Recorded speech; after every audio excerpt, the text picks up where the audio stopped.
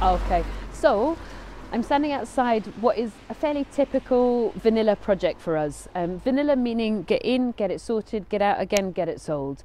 There's very little work, uh, there's no structure work at all. Um, at the moment, the garden is still scruffy, and the reason for that is we do the garden last. So do forgive the garden, I think your fingers, yes.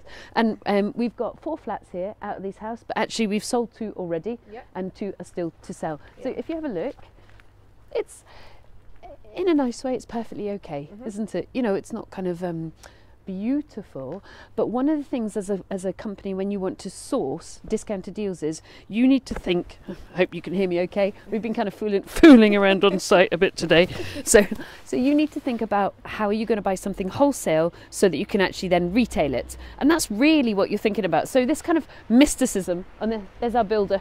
he's he's gone one of the kind of mysticisms of buying discounted deals is well how can i get it discounted? We got these seriously bye!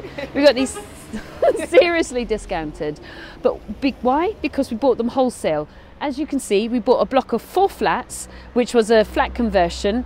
The it's traffic.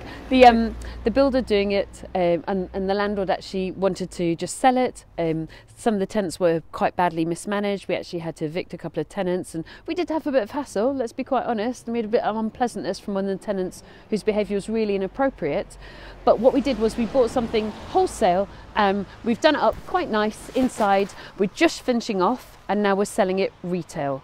So it's almost as if we've bought it out of a cardboard box and now we're putting it on the shop front, really, having bought a set of four flats. So if you're looking at the beginning and you're thinking, well, I can't afford a set of four flats, well, how about you agree the sale of four flats and you sell three off to other investors, keep one yourself, buy and sell that one, make twice the amount of money, and then the other three, you sell them on as source deals.